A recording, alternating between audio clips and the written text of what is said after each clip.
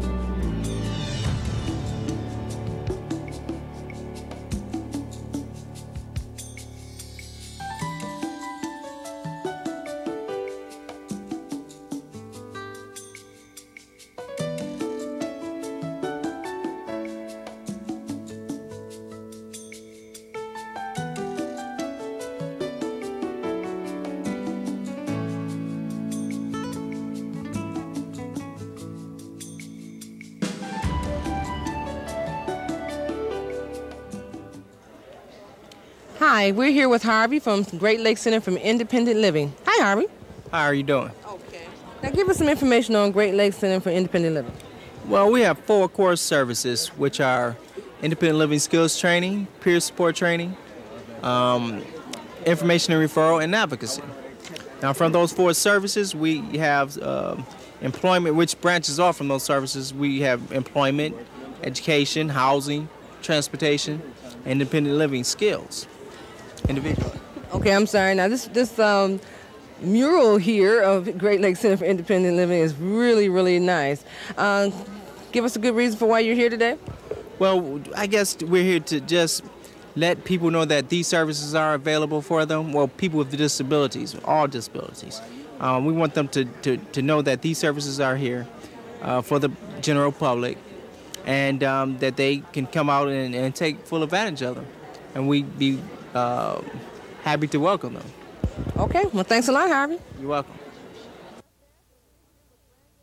Hi, and I'm Marsha Florence from Just Ask, and we're here with Randall and Christopher of Cross Training Fitness Forum. Hi, Randall. How you doing? Hey, Chris. Hello, Marsha. How are you? Good to see you again, as usual. Now, we just recently did a show on Cross Training Fitness Forum, but we want the audience to hear a little bit more about it from yourself. So, uh, Randall, we want to start with you and your position at Cross Training Fitness Forum. Well, I'm what you call the adaptive fitness specialist over there, and I handle anyone with any type of special need over and above able-bodied people. Also able-bodied, of course. I don't discriminate at all. And I'm right. And currently, I'm training trainers to also do people with the special needs. In other words, I'm getting overwhelmed. I'm getting too many people, so we need someone to handle the overflow. So currently, I'm in the process of training trainers in a in a phase of adaptive fitness also. That's wonderful. Now, Christopher, I, I, think I believe that this is your brainchild idea of uh, cross training fitness forum. So tell us a little bit about cross and how they come about. Well, sure, but collectively it's our brainchild. And what we're trying to do, like I say, with the help of Randall, we're just trying to integrate able and disabled body into an integrated environment training side by side. And for me, I'm like the vice president of inspiration. I'm just trying to get people motivated, trying to get the exposure out to let people know that we're out there and actively seeking people with disabilities and getting them to train because physically perspective, the physical needs are obvious, but from a mental perspective, getting these kids and these people in this environment is so advantageous for all, all parties concerned. Okay, now do you plan to expand beyond the one facility that you have now? Yeah, we'd love to expand. What we're trying to do right now is we set the foundation on this one and being is kind of a new enterprise because there's really nobody realistically in a metropolitan area that's doing what we're doing. And eventually, yeah, we'd love to take this on the road and open up several, several one in one in Detroit, one in Oakland County, and as well and just trying to embellish on the idea. Okay, well, ladies and gentlemen, I, I, must admit this facility is really, really nice. We just did a featured show on Cross Training Fitness Forum. We look forward to coming out and seeing you both again. Thank you. Thank you very much. Thank you for taking the time. Thanks, Marsha. Hi, we're here with uh, Geneva from Daimler Chrysler, and she's going to give us some information on what services that persons with disabilities can receive from Daimler Chrysler. Hi, Geneva. Hello. Well, Daimler Chrysler offers um, reimbursement up to $1,000, um, depending on the type of adaptation you get, to help people um, who are disabled um, cover the cost of having adaptations to their Chrysler vehicles. And is it any particular type of vehicle, or is it a certain year type of vehicle? It's for 2000, 2001 vehicles, and um, as the 2002 models come out, the 2002s will also be included. Okay, now they can go to any Chrysler dealership and get this service or and request this particular? They can go to a Chrysler dealership, and a Chrysler dealership can um, let them know um, what types of adaptations are available. Um, the Chrysler dealership doesn't actually do the adaptation. It would be sent to um, a conversion company who would modify the vehicle for them. Okay, thank you very much. Okay, hi, we're here today with Tom from Doors Aid Corporation. Hey, Tom. Hi, how are you? Okay. Great. Now, Tom, this is unique. Tell us a little bit about Door okay. Aid Incorporated. All right, our name is uh, Door Aid Corporation. We market and manufacture. It's a retrofit uh, automatic door opener that can be used uh, commercially, uh, can be used uh, residentially, open any type of doors. Uh, bathroom doors, uh, laundry room doors, any type of door that's out there. we are located in Kalamazoo, Michigan, and the product is we ship nationwide to different places. Okay, now what's this device right here? Okay, this device here, uh-huh. this one right here. Uh-huh. Okay, this here is a, uh, we can also pull a door open. In other words, we would put our roller bar in here and simply pull the door open. This is the roller arm that pushes the door open, that fits on the end of the shaft Okay. of the motor, and it will simply push the door open, and this roller will ride on the door and push it to 90 degrees, okay? These are uh, the different type of accessories for the unit itself. Uh, simply uh, push the button that will activate the unit and open the door. That's run by a, a battery, 24 volt battery, or this can also be hard, hardwired directly to the unit. These types of accessories we use mostly on commercial type doors. These two type of accessories here are used on uh, residential doors. They can put it on a key ring or just fit it on their wheelchair. Simply push the button, door automatically opens. So when you say a door, it could be a bathroom door, a front door, a garage door, a patio door. It can be any kind of a door. Any door we can operate automatically with a push button. Okay, Tom. Thanks very much. We look forward to seeing you again. Great, thank, you. Okay. Mhm. Ladies and gentlemen, we're here with Vern from Mobility Monthly, and we're going to ask Vern a couple of questions about Mobility Monthly. Hi, Vern. Hi, how are you? Okay. Now, give us some information here on Mobility Monthly. This is a nice magazine. Matter of fact, I recognize some of the people on these pictures.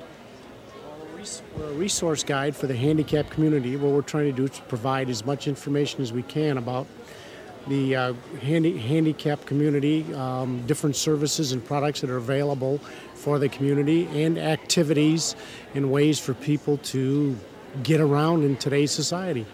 Okay, now is this a uh, subscription type publication? Actually, it's it's it, we we send it out for free, but we uh, also sell subscriptions so that we can make sure those go out first class mail and people get them a little bit sooner. Okay, well, thanks, Vern, and I'm sure that uh, we'll be featuring Mobility Monthly on our show real soon, ladies and gentlemen. or a business person, a professional in the office, somebody who's going out to social engagements. As you can see, it's cut appropriately in the body, so it's lying comfortably on the hip line instead of a jacket that would be made for someone who's standing most of the time. That jacket would be too long, it would be too bulky, it would bulk into the wheel. This is being beautifully modeled by Marva. Right. You go, girl. There's also a little bit more space in the shoulders to allow for the movement of the shoulders for someone who's wheeling themselves. Very good.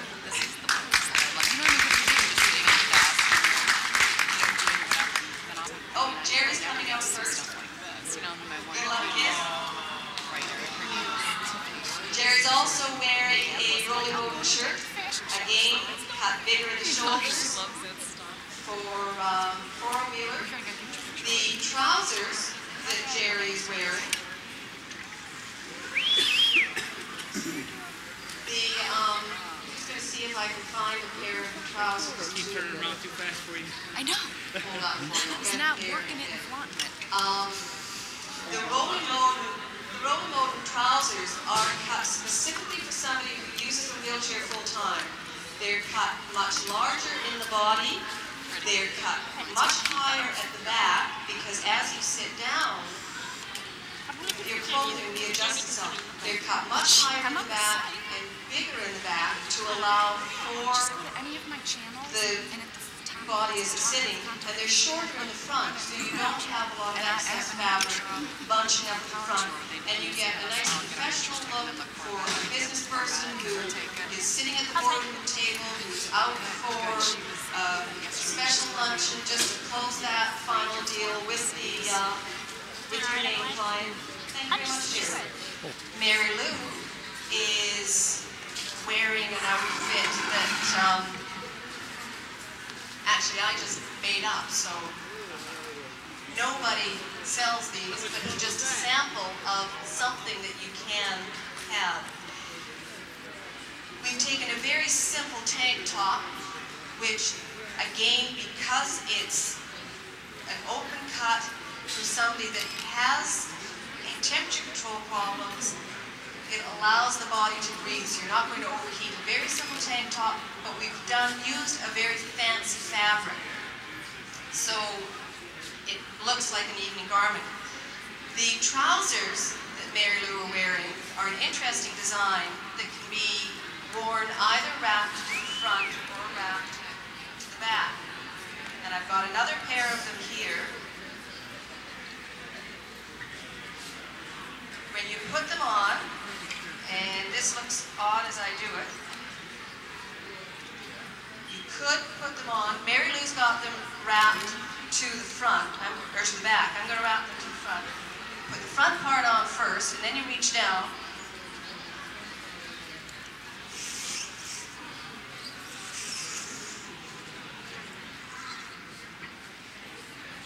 Get the other half, pull it up, and wrap it to the front. So it looks like an overskirt from the front, from the back it looks like trousers. Extremely quick to put on. Again, if you've got a leg brace, if you've got a prosthetic leg, where you need extra room in the trouser leg, this will accommodate that. It'll hide it. You can wrap it to the front or sitting full time. You can wrap it to the back so the top piece drapes nicely toward the back. And you've got a nice, quick, formal evening.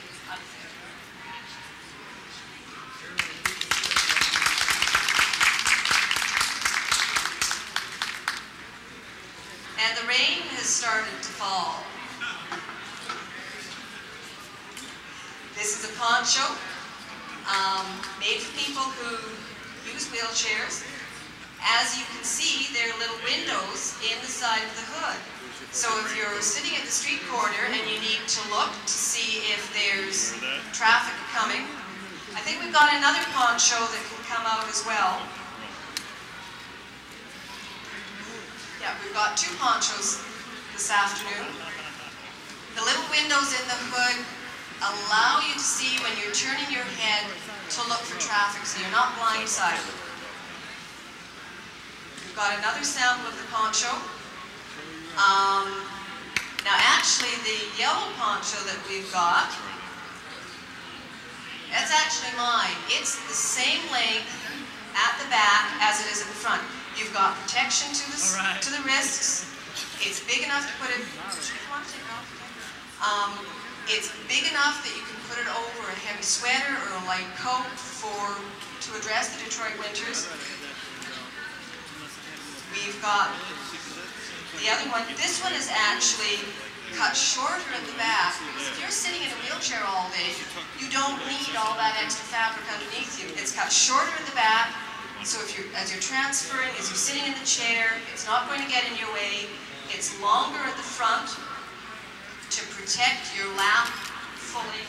And then there's a little tie here that goes around behind your legs and snaps over here, and that holds it down. So if you're out in the middle of a gale and crossing the street, you're not going to have the wind come up and blow this up over your head.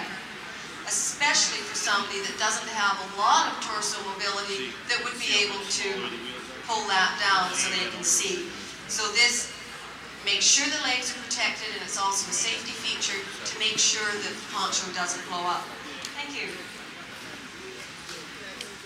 Again, there are the, um, windows in the hood. I think we've got a little bit more outdoor wear coming. Let's see what pops through the door.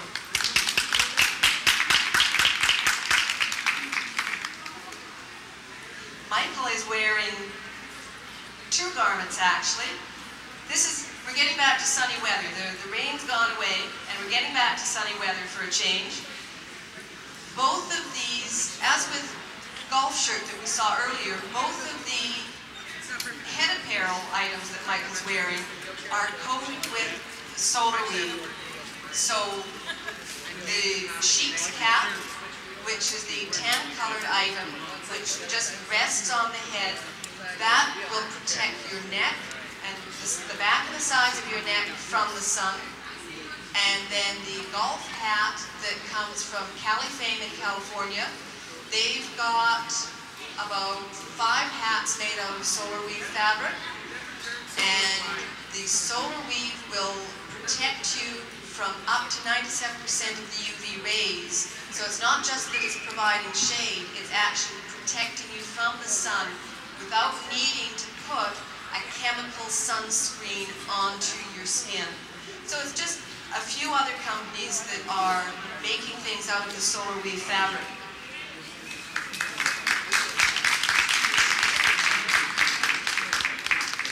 Harvey is wearing the, is showing the last of our weather protection items. And this is a knee rug.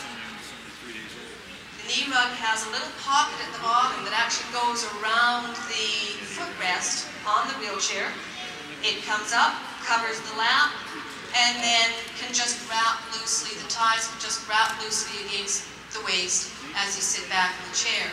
This way, if you're wearing either one of the ponchos or if you have your own leather jacket, waterproof jacket, the jacket will cover you to just below the waistline. The knee rug will cover right down to your feet, protect your shoes. You can get that either just the water protection cover or you can get it lined with polar fleece. So again, in your Detroit winters, it will actually be providing you with some warmth as well as the rain protection.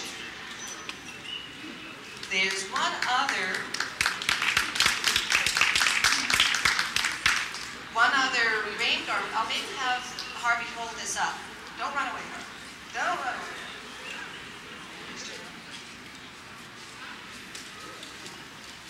We're hold these up. These are rain chaps. For someone who's not able to rise up out of the chair unassisted, but they can do everything else okay, they, they don't need to have an assistant with them. And if they get caught in a squall, these pants have two features. Just the bum area is cut out, so you can pull them on and pull them up, keeping your front and your legs fully protected. They also have breakaway seams on full inside seam to make it easier in certain situations to put them on and take them off without having to get up out of the chair.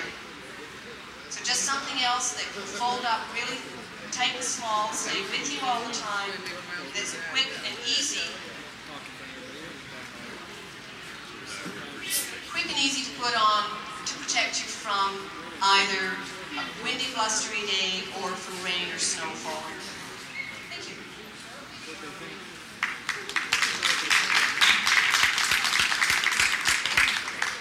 As I became a full-time wheelchair user, um, I'm like a weevil. I wobble, but I don't tip over. Everything is very bottom heavy. Because I'm bottom heavy, I have to have a lot more material in my clothing. Well, I don't want to look like a sack. So some of what Ruth and I have been working on is to try and preserve good looks at the same time allowing the additional material that I need. Another thing we found when looking at people who are full-time wheelchair users is that because we sit all the time, our pelvises tend to rock forward. And when they, they, they tip backward and rock forward. And when they do that, it pulls the back of our pants down and the front of our pants up. So if I stand up, I look like an explosion in a wrinkle factory right here in front. We want to avoid that. So what Ruth has designed is some clothing that allows the back to be cut higher and the excess material in the front for us full-time wheelchair users to be cut a lot shorter. It just makes us look better when we're sitting and we're out in public we want to look our very best maybe for a business meeting or a conference. We don't want to look like we've got a bunch of material gathered up around our hips. So that's one of the projects that we worked on.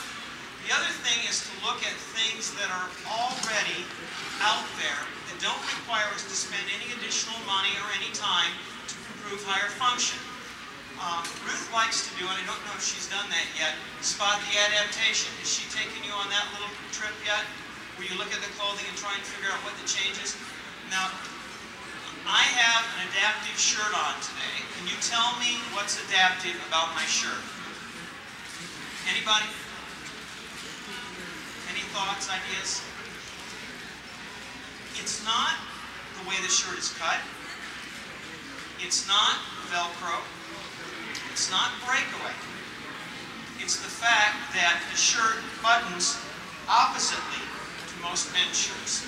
And what this really is, I'll confess, is a large woman's Oxford shirt. But because I only have a thumb on my right hand and no fingers, and my left hand is a helping hand, it's extremely difficult for me to button a standard men's shirt that opens the other way. So by simply going and spending exactly the same amount of money for an Oxford shirt I'd spend for a men's shirt, I now have one that's adapted perfectly to my facility impairment. No additional charge and no modification at all. Sometimes it's a question of simply identifying what's out there that will work for you.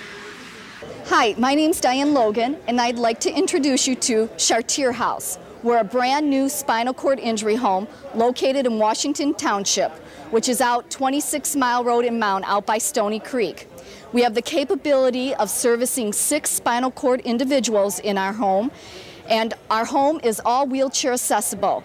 Many of the rooms, or all of the rooms actually, have um, hospital beds in them. Uh, many of them have door walls that lead out to the balcony. It's a beautiful view, beautiful rural setting. Uh, we have an elevator that will take you downstairs to the exercise area and to the computer area that has internet access. Uh, we provide 24-hour care.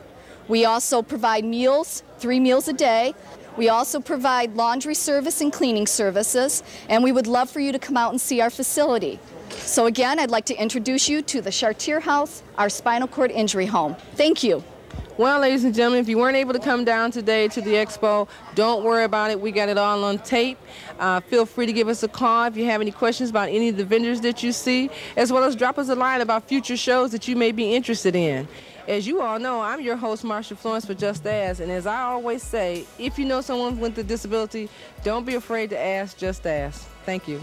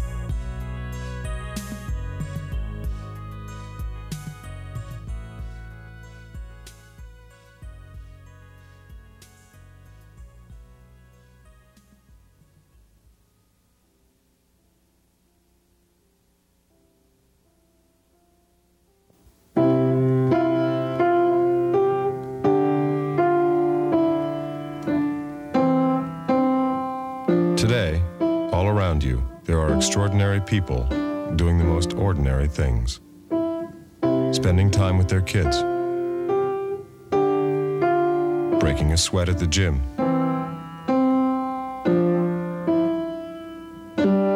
Finding something tasty to make for dinner. Living their lives.